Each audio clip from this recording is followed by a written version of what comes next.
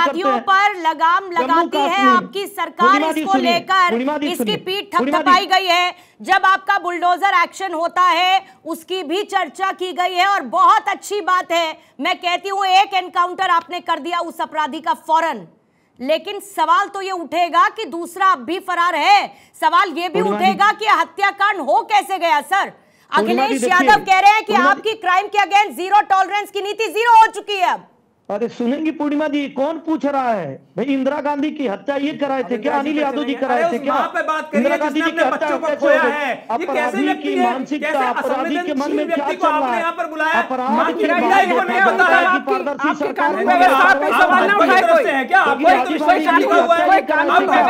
कानून व्यवस्था पे सवाल ना उठाए कोई है क्या कोई कोई कानून कोई कानून भाजपा की तरफ़ से है क्या राजनीति विश्लेषक ही कर रही हुई है ये राजनीति का विश्लेषण कर रही है राजनीति विश्लेषण है जी के बारे में क्यों पूछा जाएगा 84 84 का राज के बारे में क्यों नहीं पूछा जाएगा चौरासी के दंगे जो कांग्रेस के राज में हुए आपने कराए थे क्या चौरासी के चौरासी के दंगे ना पूछा जाए चौरासी के दंगे का जवाब कौन देगा शबनम खान जी शबनम खान जी पहले क्या हुआ किसके राज में क्या हुआ आज को लेकर क्या इसकी वजह से सवाल नहीं पूछे जाएँगे इसको लेकर नहीं सवाल पूछे जाएँगे। सिंह साहब सिंह साहब सिंह साहब ना सुनिए भूतकाल में मत जाइए सर। भूतकाल में मत जाइए। मेरा बहुत स्ट्रेट क्वेश्चन है। आपसे शबनम जी एक सेकंड सिंह साहब मेरा बहुत स्ट्रेट क्वेश्चन था सर आपसे। भूतकाल में नहीं जाते सर आज की बात करते हैं। आज की बात कर लेते हैं ना। ठीक है कोई बात नहीं एक सेकंड अनिल रुकिएगा प्लीज़ शबनम जी आप भी रुकिएगा। राहुल लाल जी प्लीज़ इंटरफेयर नहीं करेंगे। खुश हैं। सिंह साहब सिंह साहब मेरा सीधा सवाल आपसे आज की स्थिति को लेकर है। मैंने ये पूछा ये सवाल क्यों नहीं पूछा जाएगा कि दूसरा आरोपी अब भी फरार है? और जब हम कहते हैं कि उत्तर प्रदेश में लॉ एंड ऑर्डर दुरुस्त है और इसकी बात आपकी सरकार का हर एक नुमाइंदा करता है तो ये तो सवाल पूछेगा ना विपक्ष कि कैसे हो गया ये? देखिए भारतीय बिल्कुल हमारी सरकार हमसे पूछा जाना चाहिए। बड़े साहब वही से हम कहेंगे कि भारतीय जनता पार्टी की सरकार में अपराधी को छोड़ा नहीं जाता है। उसकी जो वास्तविक जगह होती है वहाँ पहुँचाने का कार्य करते हैं। और ज़िम्मेदारी से कह रहा हूँ कि जो अपराधी है वो छोड़ा नहीं जाएगा बक्सा नहीं जाएगा चाहे कांग्रेस के लोग उसको बचाने का कार्य करें मुख्तार अंसारी की तरह अतीक अहमद की तरह चाहे समाजवादी पार्टी के लोग बचाने का कार्य करें। जिस अपराधी का जो दंड होगा न्याय दिया जाएगा। लेकिन मैं तो कह रहा हूँ कि ऐसे कांग्रेस के लोग जो अपराधियों के साथ खड़े हो जाते हैं कश्मीर में हत्या खड़े होकर करवाते हैं पोस्टर लगाकर हिंदू यहाँ से निकल जाइए नहीं तो 24 घंटे में हत्या कर दी जाएगी। राजस्थान में सरकार है। वहाँ हत्या कराते हैं। पंजाब में रहती है वहाँ हत्या कराते हैं। मुझे बताइए आप। मुझे ये बताइए अनिल कि कैसे बीजेपी तनाव पैदा करके चुनाव जीतना चाहती है ये बताइए ना मेरे को आप।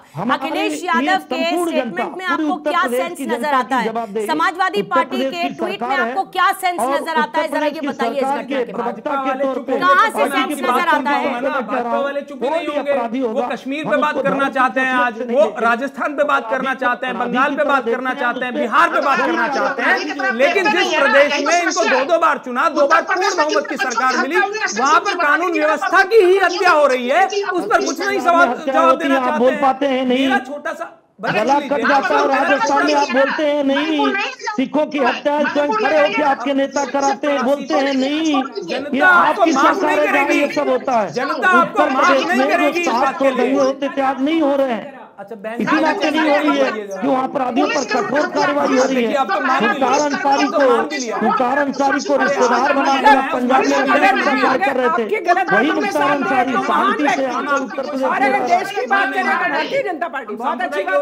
ठीक है एक एक थोड़ी देर के लिए मैं सबसे रिक्वेस्ट करूँगी। सिंह साहब अपनी बात को पूरा करना चाहते हैं आप।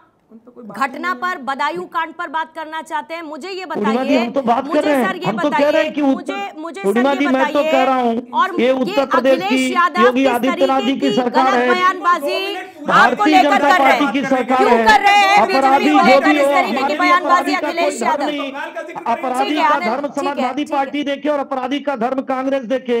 हम अपराधी पर वही कार्रवाई करेंगे जो अपराधी के खिलाफ होता है। कठोर कार्रवाई करेंगे। और लोग देखे हुए हैं कि भारतीय जनता पार्टी की सरकार में अपराधियों पर कैसे कठोर कार्रवाई होती है। नहीं तो यही समाजवादी पार्टी और देने की कांग्रेस के कोशिश लोग कौन कर रहा है सर? कौन माइलेज लेने की कोशिश कर रहा है इस पोलराइजेशन के साथ? ये क्यों कह रहे हैं अखिलेश यादव? इसका तो जवाब दे दीजिए। अखिलेश यादव को तो जवाब दे दीजिए सर कम से कम। उड़िमा जी अखिलेश यादव जी के पास और बचा क्या है? आप बताइए, अगर इस पर राजनीति नहीं करेंगे तो और क्या बचा है? अरे, जिनके पिता ने कहा कि जो आदमी समाज का नहीं, जो पिता का नहीं, जो हमारा नहीं, वो किसी का नहीं होगा, वो तो कुछ भी कर सकते हैं। अखिलेश यादव जी का आज जो बयान है, उसकी निंदा करते हुए मैं अपने को निंदनीय महसूस कर रहा हूँ कि अखिलेश यादव जी के ऐसे बयान पर कौन नहीं निंदा करेगा? अखिलेश यादव जी को राजनीति करनी चाहिए। हमारी तो है, लेकिन दो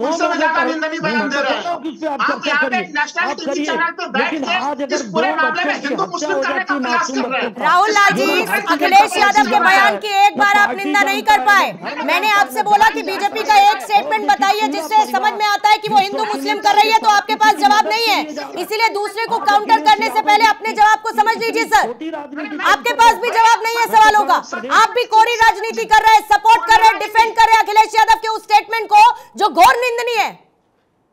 पूर्णिमा जी अखिलेश जी के अखिलेश पास यादव का राजनीति करने का मुद्दा नहीं था। सवाल भी पूछ लूँगा उनके पास यही चुनावी राजनीति का मुद्दा बचा जब वो और भाई हत्या वो करा के मुख्यमंत्री है उत्तर प्रदेश के उत्तर प्रदेश में किसकी जिम्मेवारी है? अरे तो तो हिंदू मुस्लिम करेंगे क्या? हिंदू तो मुस्लिम करेंगे क्या? ये कहेंगे कि बीजेपी चुनाव आने से तो पहले ऐसा करवाती है। कौन कहता है? मुझे सबूत दीजिए कि ये बीजेपी ने करवाया। दीजिए सबूत दे अखिलेश यादव। सबूत दे दे राहुल लाल जी कि ये बीजेपी ने करवाया। मैं तो कह रहा हूँ अखिलेश यादव जी पूर्णिमा को जी सबूत मांगना अखिलेश यादव जी के बयान का कौन समझेगा अगर ना मैं तो यही बोल रहा हूँ कि कि भारतीय जनता पार्टी ने कराया तो आपको सबूत देना चाहिए। रैला कहाँ जा रहा है? नहीं तो जनता से माफ़ी मांगना चाहिए। भारतीय जनता पार्टी से माफ़ी मांगना चाहिए। और अगर आप नहीं भी माफ़ी मांगेंगे तो सब लोग ये मान कर चल रहे हैं कि आपके इस बयान का दंड आपको बहुत जल्दी दिया जाएगा। इतनी निंदनीय बात है। राहुल लाल जी आप कैसी बात करते हैं? आप एक एक सुनिए। राहुल लाल जी आप बताइए कैसी बात करते हैं? किसी भी व्यक्ति की कोई भी हत्या कर रहा है जो हत्या कर रहा है आप कहिए कि वो हत्या किया। उसमें धर्म कहाँ से आ गया? जाति कहाँ से आ गई? पार्टियाँ कहाँ से आ गई? ये कहने में आपका के मुँह में दर्द हो रहा है। इसके बजाय आप कह रहे हैं भारतीय जनता पार्टी राजनीति कर रही है ब्रजभूषण से उत्तर प्रदेश हम क्या हम ये मान कर चले? कि समाजवादी पार्टी आदरणीय अखिलेश यादव जी। उस लड़के को सिखा कर है। भेजे थे के कृत्य घटना करने के लिए। नहीं हम ऐसा नहीं साथियों मानेंगे। ये अखिलेश यादव जी की सोच हो सकती है। है थी। आप बताइए। ऐसे संवेदनशील मुद्दे पर आप ऐसे हो है, संवेदनशील मुद्दे पर बात नहीं आप ऐसी चर्चा करेंगे ऐसी बात करेंगे लोग क्या कर रही कहेंगे उस पर आप लोग क्या नहीं रहे हैं। कहेंगे? हैं। नहीं होता है ना सर डिबेट में। इस तरीके से नहीं होता है। राणा जी। आप बताइए राहुल लाल जी आज ये चिल्लाने का जगह है हूँ समाजवादी ये पार्टी राजनीति करने का जगह है। उत्तर प्रदेश में उत्तर प्रदेश में सात सात सौ दंगे होते थे। हो हर जगह पारदर्शिता के नाते ज़ीरो टॉलरेंस के नाते के आज दंगे नहीं होते हैं अपराध की घटना घटनाएँ नहीं होती हर जगह धर्म की बात हो रही है हिंदू मुस्लिम की बात हो रही है। कौन सा माइलेज चाहते हैं? शिवपाल को ऐसे ही जिताना चाहते हैं क्या? देखिए शिवपाल जी हो चाहे समाजवादी का कोई भी नेता हो अगर आप बात करते हैं धर्म की तो हमेशा एक पोलराइजेशन की बात करेंगे और एक तुष्टिकरण की राजनीति करते हैं और एक वर्ग की राजनीति करते हैं। तो उनको धर्म ही दिखेगा जावेद में जावेद नहीं बोल पाएँगे। धर्म विशेष बोलेंगे नंबर वन नंबर टू अभी आपने देखा कि हमारे अनिल भाई हो चाहे राहुल लाल साहब राहुल लाल जी को ज़्यादा महत्व इसलिए नहीं देता वो सिर्फ़ चिल्लाते हैं। अनिल जी ने बोला कि प्रयागराज की देखिए प्रयागराज की जो घटना है संजय नामक व्यक्ति थी पूजा नाम उसकी नाम की उसकी बहन थी जो अपने अभाव साथ में रहती थी अपने भाई के उनका अनबन हो गया उन्होंने हत्या कर दी बताइए। अगर मेरे घर में मेरी बहन रह रही है और हत्या हो जाती है उसमें कानून व्यवस्था कहाँ से आती नंबर वन सेम सेम चीज़ अरे सर अरे सर चुप शांत रहिए।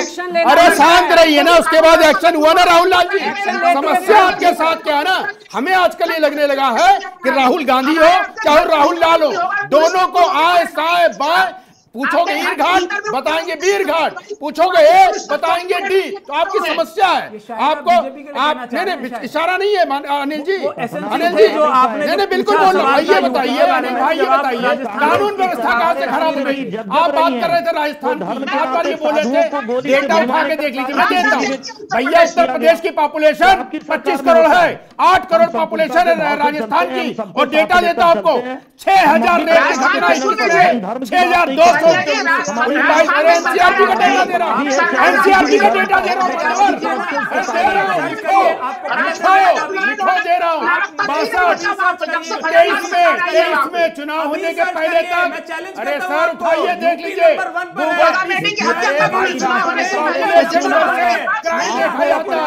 आठ तरीक चौबीस होता है आठ तरीक चौबीस जितना में की कसाब पाकिस्तान से आया है वहाँ भी हिंदू आतंकवाद आपको नज़र आता है अरे आप भारत में है हैं हैं